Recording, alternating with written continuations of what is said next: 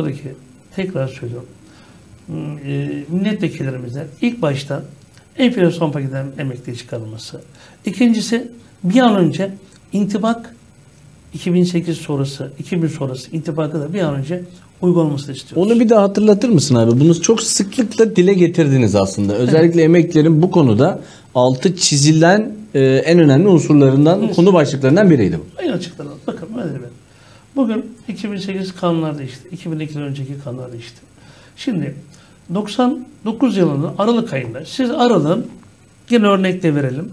Siz Aralık'ın e, 20'sinde emekli oldunuz veya 28'inde emekli oldunuz. Ben de 2000'in Ocağın ikisinde emekli oldum. Günlerimiz aynı.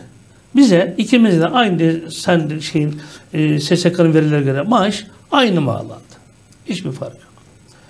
2013'te 2013'te kanun bizim e, genel merkezi, genel başkanımızın diretmeleri mahkemeye vermesi ve parlamentonun da 2000 so- e, sonrasını şey çıkardı. İntibak verdi. Kimi e, çalışanımız, emeklimiz 350 aldı, kimi 50 aldı, kimi 100 aldı. Biz de diyelim ki 350 aldık. Sen e, 2000 öncesi sonrası olduğun için e, şey aldın, e, 350 lira zam aldın. Ben aynı maaşı alıyoruz. Bakın 13 sene aynı maaş aldık. Ben ne kadar aldım? Bana normal şey zamı verildi.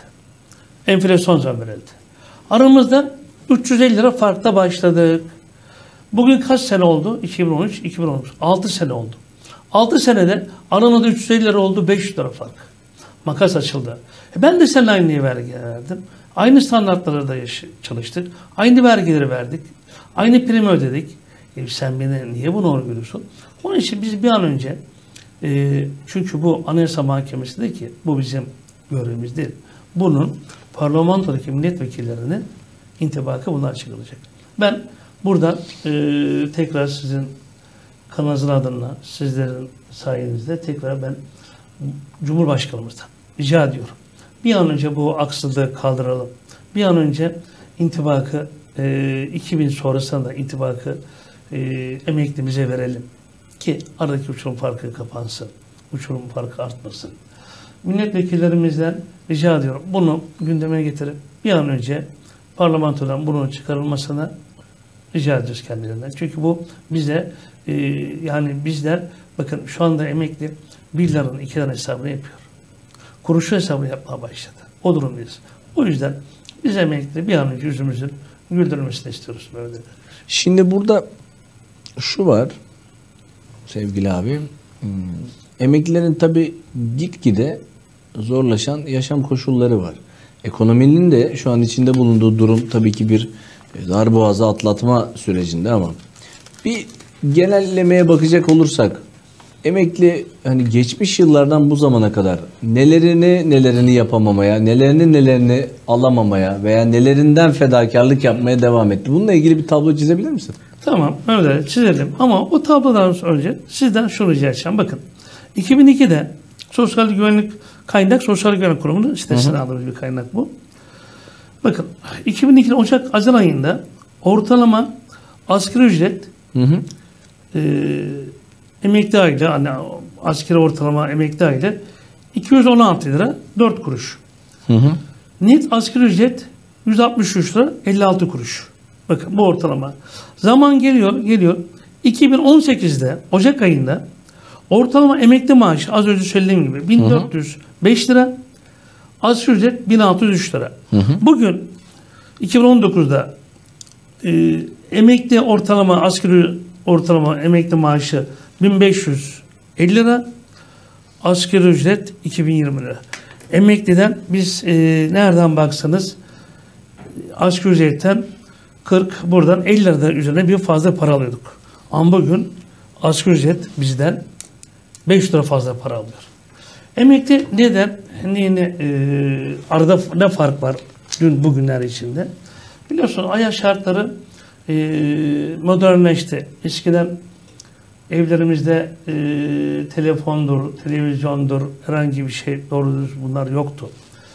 E, yani 80'lerdeki emeklimizi, 90'lardaki emeklimizi söyleyeyim. Evlerde doğru düz tele, e, telefon bile yoktu. Ama 96'dan sonra, 97'den sonra cep telefonları girdi.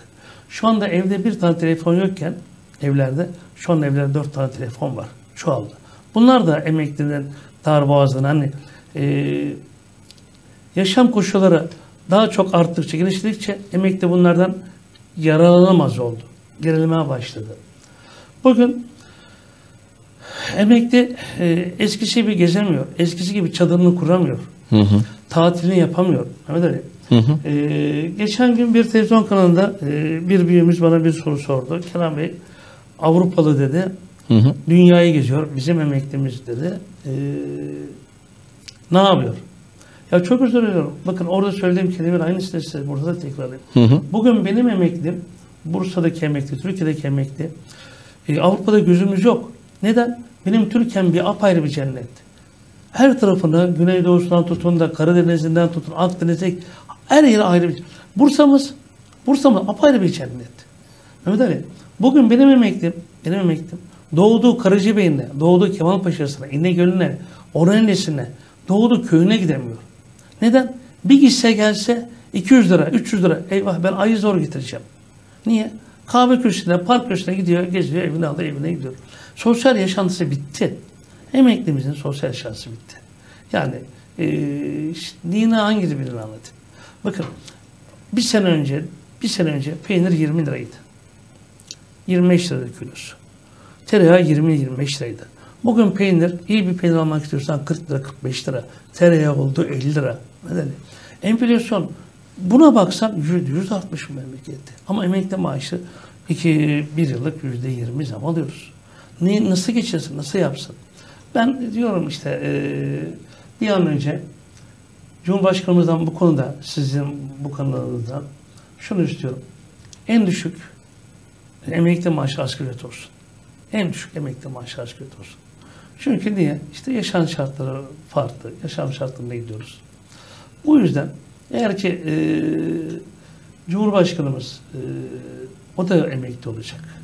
E, Türkiye Cumhuriyeti'nde veya dünya üzerinde yani e, ben emekli olmayacağım diyen insan yok. Bugün valimizde, emniyet müdürümüzde, e,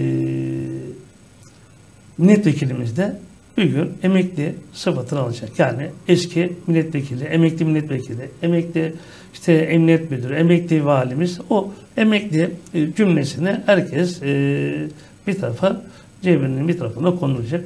O yüzden e, herkese bu aşamada ben de yarın emekli olacağım diyerekten emekliye farklı bir bakış açısı yapması lazım. Ve şunu söyleyeyim. Türkiye'de 12,5 milyon, 12 milyon 700 bin üzerinde emekli var. Bursa'da 550 bin emekli var. Yani bugün eşiyle alsa gelse emekli, bugün e, tek başına iktidar olur. Yanlış mı diyorum yani 25 milyon oy tek başına iktidarlık yapar. Ama emekli şunu söyleyeyim bizim bizim genel merkezimizin bizlerin hiçbir zaman için hiçbir siyasi partinin ne yanında olduk ne arka bahçesi olduk. Biz her partiye eşit mesafedeyiz. Kim emeklinin bir bakın şunu söyleyeyim. Biz emeklileri bekliyoruz. Diyorum ki en düşük emekli maaşı asgari olsun. Ne diyorum? Ben enflasyondan bizi çıkartın. Ne diyorum? Ee, Sosyal Güvenlik Kurumu'ndan bizden katmaları, katma ek e, katkı payları kaldırın. Ne diyorum? İntibak tekrar 2000 sonrası için intibaka tekrar uygulanın diyorum. Bunları yapacak olan insan bizim çok emeklinin çok büyük hayır duasını alır. Büyük sevabını alır. Bakın yaşlının hayır duası çok e, Bereketli. bereketlidir. Bedduası da tuttuğunu tutar.